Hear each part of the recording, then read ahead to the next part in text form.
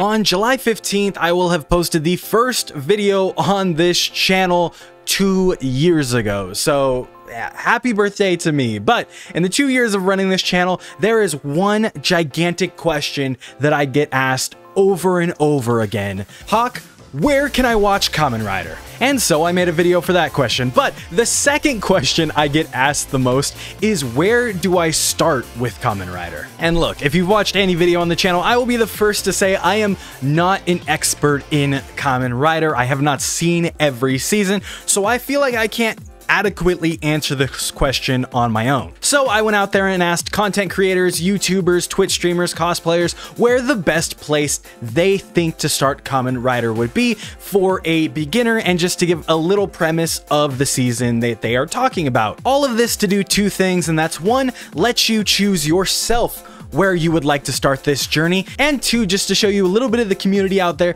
that you can join as you start your tokusatsu adventures. So without further ado, I'm to pass it over to them with this simple question. Y'all, where should I start with Kamen Rider? So what's the best Kamen Rider for 2022? Well, you have great options like the original, I want to highlight one that kind of fits the times of today. We live in a world where things like The Boys and Invincible get massive attention because of the grittiness that people like to see. So keeping that theme in mind, I think one you should definitely check out is Shin Kamen Rider Prologue. Not to be confused with the new film coming out next year, Shin Kamen Rider Prologue came out in 1992. The Kamen Rider in this physically transforms when his cells are mutated by an evil organization. And let me tell you, these transformations are insane. Whether it's faces being ripped off or eyeballs bulging out, you can see a lot of love went into the practical effects. At the same time, if you're someone like me who likes Toku for both the seriousness and the jokiness of it, you might enjoy the little misses they made in the editing process. Be warned there is brief nudity, so if you're trying to show your kid, maybe keep off, and the blood and gore definitely steps it up a notch as well.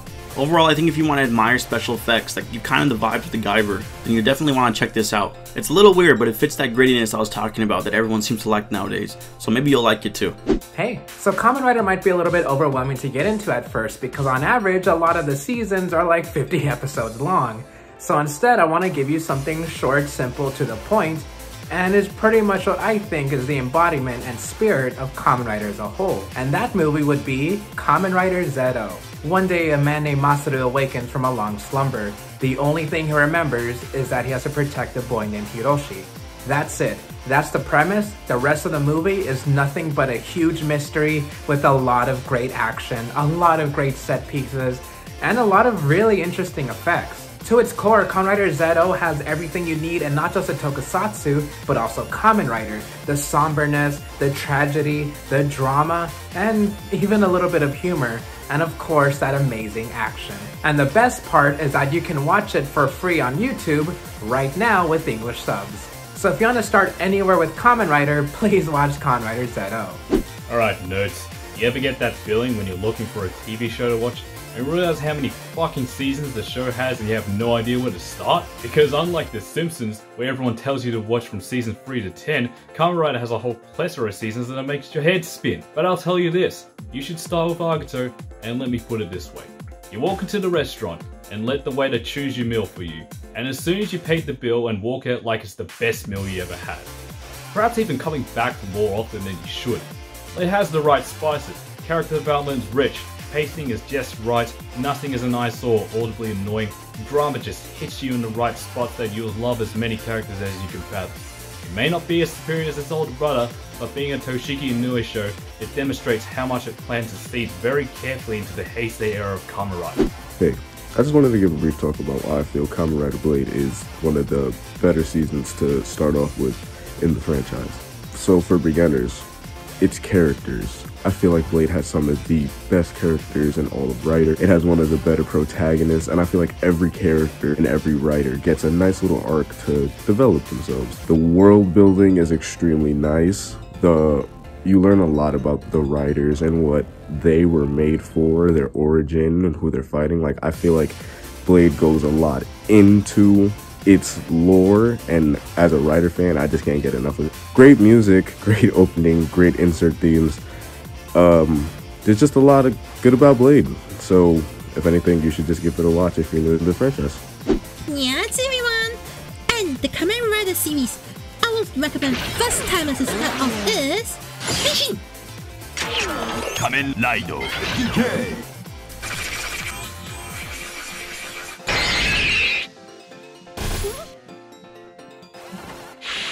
Yeah! Kamen Rider!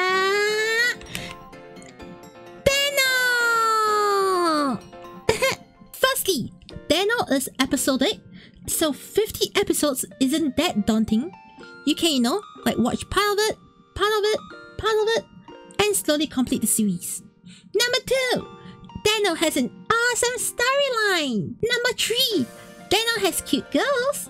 Number four, Den-O has awesome characters, yeah. Number five, Sato Takeru. He's so hot, okay? Trust me, he's really hot. Okay, I know it's not really a popular opinion, but if I had to pick my favorite Kamen Rider to suggest to new people, it would be Kamen Rider Decade. Now, why Decade of all riders? Well, um, I think it's an interesting series because it's a shorter series with only 31 episodes. You also get a lot more crossover movies which feature Decade. And he's kind of not that great in the show, but he does get a lot better as he shows up throughout the future movies and future series. Uh, my other thing I like about it is that you get to see all the other previous 10 riders without any context for them, really. You only get some base information. So, uh, also, there's that wonderful, wonderful movie, All Riders versus Shocker. That's a lot of fun. And also the crossover, Movie Taisen 2010. That's a fun one because you also get Double and Begins Night. And then Decade kind of becomes the anniversary or movie rider. So I say check it out because if you don't really have any understanding for Kamen Rider and you can make it through Kamen Rider Decade and then go on to try something else, yeah, you're gonna have no problems. Because Decade's a mess. And if you still like it like I did, you might end up with a bunch of other stuff. I have a problem. Okay, bye.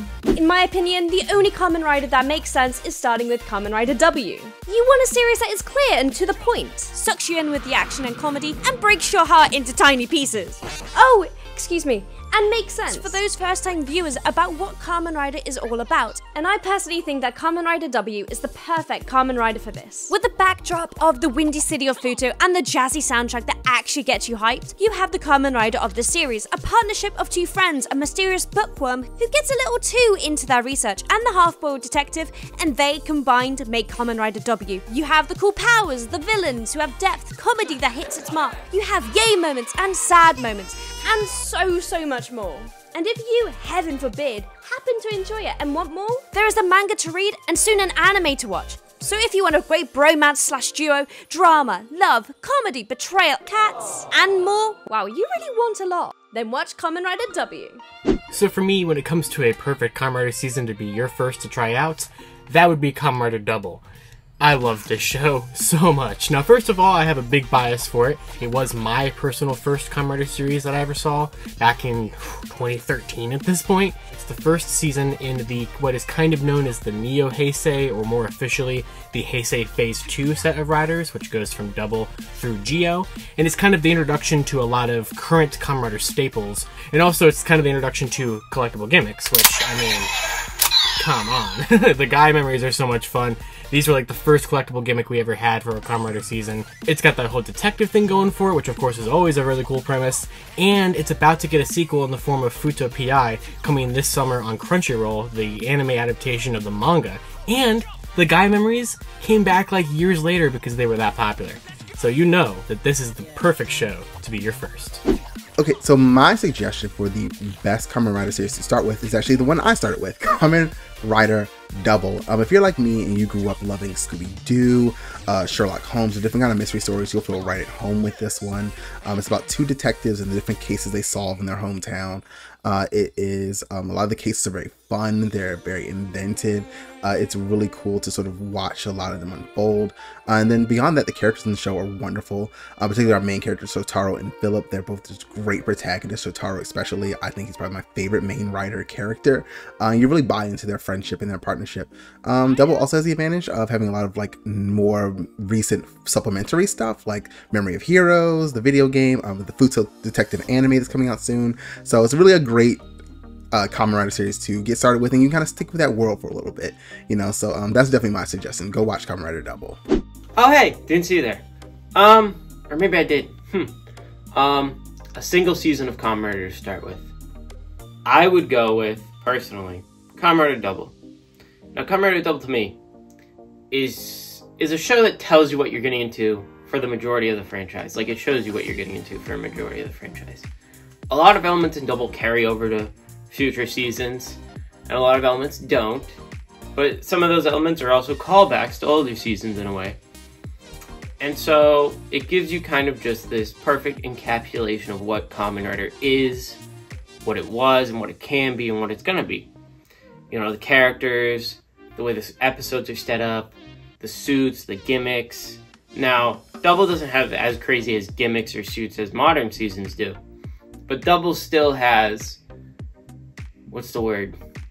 Double still has elements that carry over, as I've said. And it's just it's just a detective story, right? But the detective can also transform into this armored hero and fight the bad guys.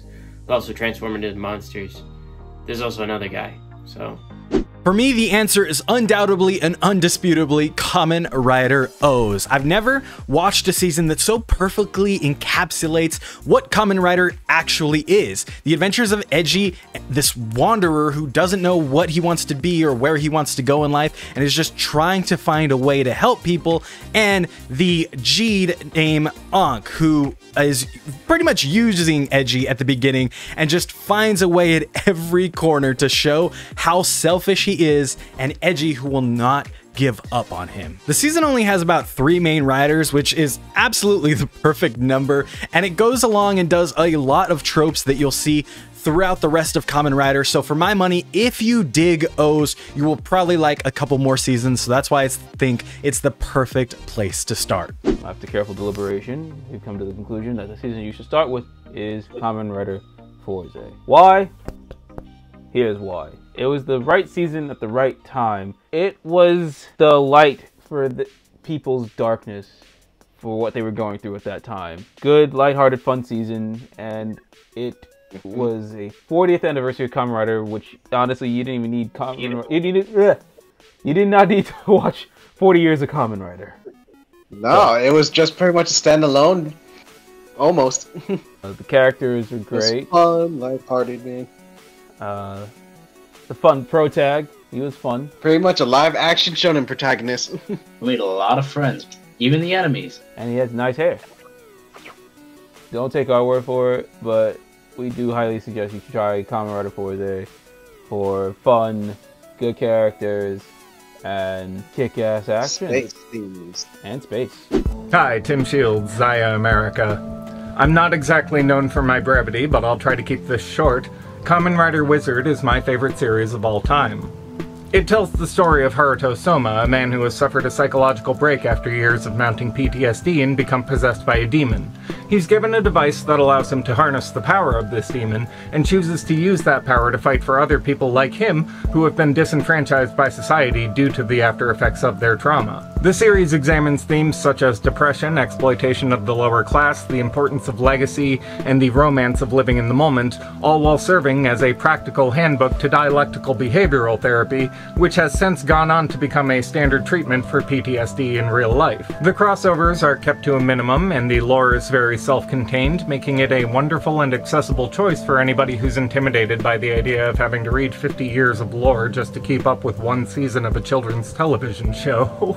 Thank you very much for having me. When someone asks me what Kamen Rider show they should start off with, I usually start talking about my favorite Kamen Rider show, Kamen Rider Gaim. Because, you know, it may start a little silly, you know, with its dancing groups and fruit theme and whatnot, but it definitely evolves into a high stakes fantasy drama. This show has a beautiful aesthetic along with a lovable cast that you can definitely find someone to relate to, along with a numerous amounts of very cool power-ups which makes you want to collect all the toys in the season. This show can be smart, philosophical, and straight up unpredictable at times. With each episode, you learn more about the mystery, and it evolves just as much as your excitement. For anybody, this is the perfect place to start. It has an amazing balance of both comedy and drama, making it very palatable for any type of audience and just as enjoyable. Hey, my name is Kat. I'm Kat. And we are from All Ages a Geek. We do a bunch of Kamen Rider reactions. Holy crap! Oh my God. So today we're going to talk about why Build is honestly, I think Kamen Rider Build is the, The best, best one to place start Um, you know, this is just a bias to say because our audience told us when we first got into Build and Kamen Rider general, Yeah. start with Build. And I honestly, I feel like it does give you the whole wraparound of what a Kamen Rider Yeah. is. I mean, from the first like get go of this entire series, like the first few episodes, it goes right into like, hey, we're gonna transform. Hey, this is what we do with Henshin. Hey, we're making experiments. Here's our villains. Yeah. Here's our supporting cast. Here's everything, and also gives you like the whole like get go of like the uh, the creatures. And Yeah, I think well. I think it's a good way to start because it is like on the newer end. Yeah. And with Kamen Rider, one thing that we noticed when we first started was it's very fast paced. Yeah. And when we were watching Build, we got used to how it was gonna work in other like future Kamen Yeah. Riders that we were gonna watch. So like it's definitely a great story and without spoilers, something that you should definitely check out first. We've only finished, honestly, Kamen Rider Build, Kamen Rider O's, and Kamen Rider Gaim. But out of those three, we definitely do say it's gonna have to be Build because it really does get you prepped. Also, Bento for life if you. Bento for life. If we're going to talk about which season would be the best to introduce someone to Kamen Rider, the one I always go back to is Build. The story itself, whether it be the mystery behind Faust, who Sento really is, or what exactly is up with Pandora's box, has enough to hook anyone in. Add a splash a political intrigue, some amazing fight scenes, and you have yourself a great season of Kamen Rider. The Kamen Rider I feel that people should start off with would be Kamen Rider Zero One for a multitude of reasons. The least of which being that it's the first of the Reiwa era, which means you don't need to know anything else about any other Kamen Rider to get started on it. It also has a very good blend of action, comedy, some more mature themes, surprisingly, and it also has some the most. It's one of the most visually appealing series as well too, with its bright suits, very uniform look. The toys are a lot of fun to see in action. The progress keys, and it was just very, very much a good start to this new era of Kamen Rider. So that's why I would recommend Kamen Rider Zero One to anyone trying to get into it. Plus, you could also buy official English Blu-rays of it, and I am so happy I could finally support Kamen Rider in English. What Kamen Rider season do I start with? That is a question and a half. Personally, I've seen like a tiny bit of Fourze and Wizard, and I love them both. But there's one season in particular that I am a huge fan of, and that is what I would recommend. Uh, Kamen Rider Zero One, being the first Reiwa season, really says a lot. But most importantly, the story is oh my god incredible.